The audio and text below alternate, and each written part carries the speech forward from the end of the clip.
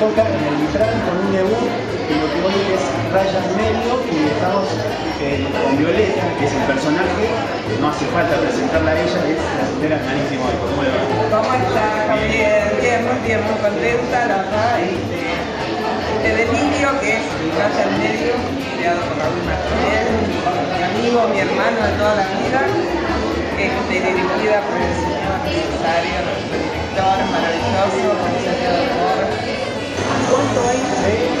Violeta en este personaje? O sea, Violeta y Nani, ¿cuánto se bastante. Yo creo que Raúl. Es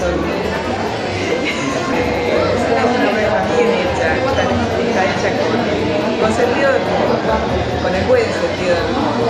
Y es una obra para toda la familia, porque lo que pasa que a Violeta sucede diariamente, Raúl lo hizo de una manera así.